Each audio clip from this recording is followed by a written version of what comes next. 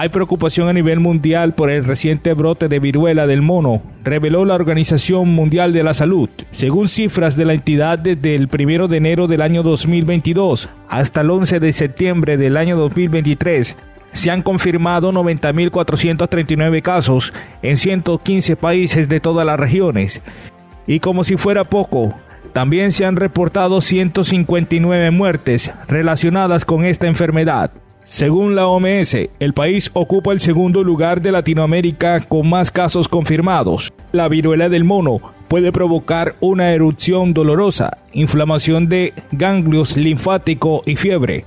La mayoría de las personas se recuperan totalmente, pero algunas se enferman gravemente. La infección puede reproducirse a través del contacto con fluidos corporales, como la sangre o las secreciones respiratorias de animales o personas infectadas. Además, se contagia por objetos contaminados como ropa de vestir o cama.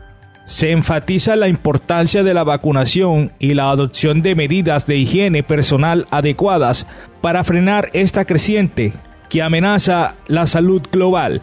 También los entes de control de salud pública seguirán monitoreando de cerca la situación y proporcionando orientación a los países afectados.